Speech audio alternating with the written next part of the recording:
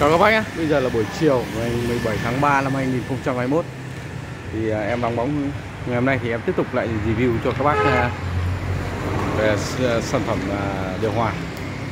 Thì đứng trước mặt em đây thì em review cho các bác là bốn con điều hòa hàng tính năng nhé. Thì có từ công suất như sau. Từ máy đầu tiên là máy 9.000 Đấy, và máy 12.000 máy 14.000 và máy 16.000 đây là những cái mặt hàng mà em đã vệ sinh. À, rồi đây là em đăng lên để cho các bác nào có nhu cầu thì liên hệ với em là bốn con này.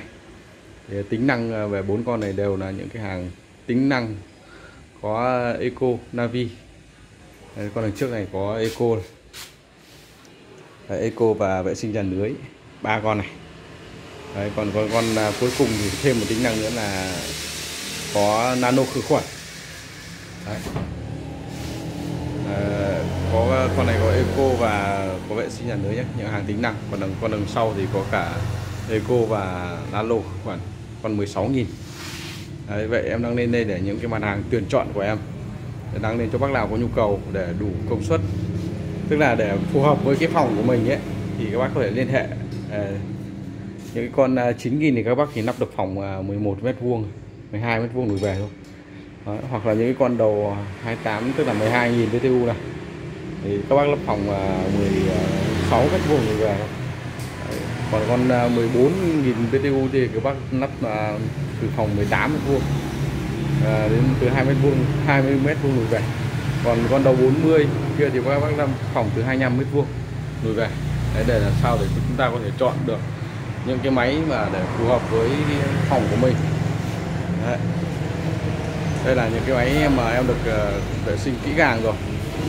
Với hay là những tính năng này là đều là máy hai chiều inverter. Đấy, các bác nhé. Em nhấn mạnh một lần nữa là tất cả những cái máy điều hòa của Nhật từ 2000 trở lại đây, sản xuất năm 2000 thì đều là inverter thôi nhé. Đấy. và Nhật 100% là hai chiều. Đấy, và tất cả những cái con máy em đăng lên đây đều, đều chạy bằng dòng ga là 410 410A Đấy. Đây, đây là những cái mẫu mẫu ga mà rất thân thiện với môi trường. Và những cái dòng ga của Nhật thì em nói các bác là như từ những năm 2001 trở đi là Nhật bỏ họ bỏ hoàn toàn không chạy bằng dòng ga R22 tức là những cái dòng ga đó là những dòng ga mang tính chất là có hại với môi trường. Đó là những chất thải ra. Còn những cái đồng ga từ 410 về sau này nữa, có những cái đồng ga R32 đấy, tức là hai cái đồng ga nó nó tương đồng giống nhau để bảo vệ sức khỏe và không hại môi trường.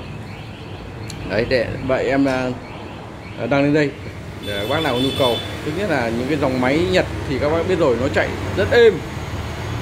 Và nó lạnh không khô lạnh khác với so với những cái dòng máy của chúng ta đấy là những cái ờ, ưu ưu điểm ờ, và ưu việt của những dòng máy Nhật nội địa. Đấy, và tất cả những cái đồ gia dụng của Nhật thì các bác đã biết là không thể chê được ở đâu được.